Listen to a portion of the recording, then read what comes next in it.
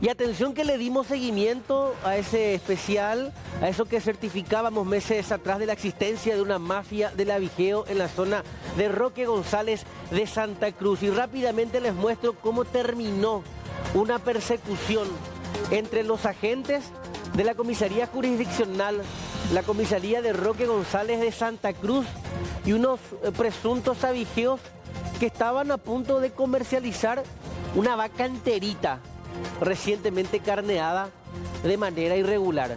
Es más, la vaca enterita estaba dentro de ese vehículo. Vehículo ese blanco robado días atrás en jurisdicción de la comisaría 52 Lote Guazú. Vemos en imágenes a ese hombre sin remera, Leonardo Cuenca. Es un vecino de la zona y hace mucho sospechaban sobre sus andanzas. Lo llamativo del caso es que es hermano del concejal Cuenca de la zona de Roque González de Santa Cruz, que llamativamente tiene un centro comercial que se dedica también a la distribución de productos cárnicos. ¿Coincidencia? No sé. Ya los investigadores van a determinar si existe una conexión en la venta irregular de carne, de carne robada, de carne avigeada, de carne de los cuatreros. Así quedaba el, el vehículo. Eh, además de él, Leonardo Cuenca Chamorro, de 55 años, fue detenido Justo García Servín, que ya tiene antecedentes por avigeato de este año. Estaba libre y perpetrando el mismo crimen. Es más, en el año 2021, por los mismos agentes que hoy realizaron el procedimiento, también ya fue detenido. Llamativo, por cierto, por eso siempre hablamos de un poder que puede estar por encima del judicial que permite la liberación de peligrosos eh, cuatreros. Y eh, por último, Juan Esteban Patiño Barrios, un albañil de 32 años de edad. El IST, color blanco, con la chapa y las características denunciado como robado en la comisaría 52 Ñuguazú el 13 de septiembre.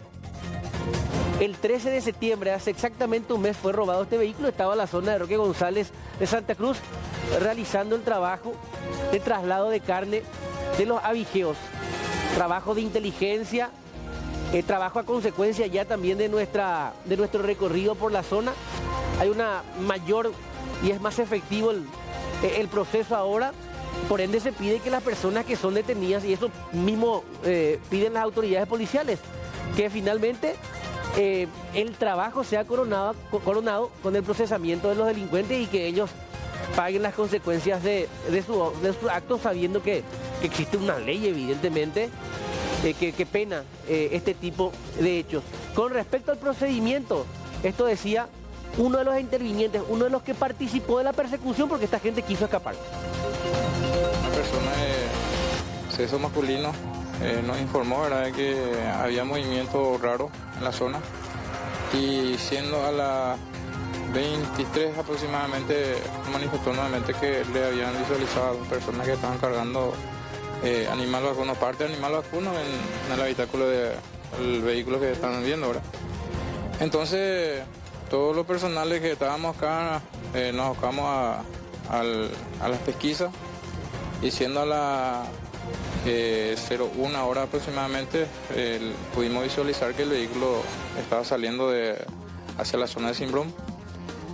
A lo que nos escondimos en el estrado matorral eh, cuando pasó empezamos a seguirle y este vehículo vino y se estacionó detrás de la casa de una persona. Eh, después cuando eh, ellos se percataron de nuestra presencia, ingresaron adentro del predio donde descendieron del móvil y quisieron huir. Vos ya conoces, vos ya lo detuviste a Justo García Servín en el año 2021 y ahora nuevamente es un reincidente. Y no solamente, no, es la primera vez, creo que él está deteniendo por el mismo hecho. O la segunda, vamos a decir. Leonardo Cuenca Chamorro es eh, hermano de un concejal acá de Ah, sí, dicen, yo no sabía eso, pero están diciendo que es. ¿Ustedes recuerdan que cuando hacíamos nuestro recorrido hablábamos con una de las tantas víctimas? Eh, una de ellas nos contaba que ya tuvo, al menos hasta en ese momento en septiembre, la pérdida de cinco animales lecheras, entre eh, eh, preñadas. Y hasta ahora calculaba que la pérdida en total ya asciende en los 50 millones de guaraníes.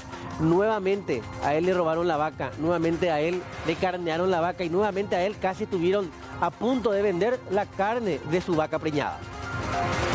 Dice, oye, ya, ya, fulano, fulano.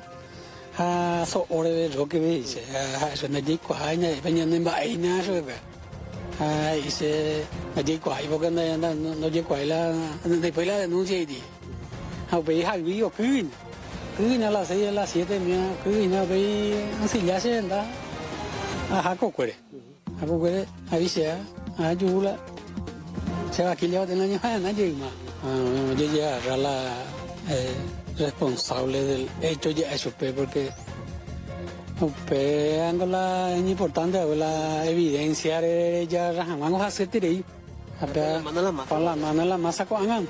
Le va quillona y- se no vehículo ve Ese cuando falta evidencia no falta para más que peteño y hoy eh, Procesado. ahora con medidas sustitutivas y nada como no nada. Además del vehículo, en el interior fueron encontrados los elementos de, de faenamiento de, de estas personas, es decir, más evidencias, además de, de- toda la carne. Es más, en el caso de Cuenca, él intentó guarecerse en su vivienda, eh, en la casa familiar, y allí enfrente de la vivienda fue detenido cuando intentaba ocultar la carne. El caso está en manos de la Fiscalía, la unidad fiscal correspondiente a la zona de Carapeguá y la gente, los afectados, gente humilde que tiene su vaquita, que tiene su ternerito, solicita primero celeridad en el procesamiento y que no pase lo mismo que con uno de los detenidos, que ya tiene antecedentes por avigio y estaba libre y perpetrando nuevamente el crimen de los cuatreros.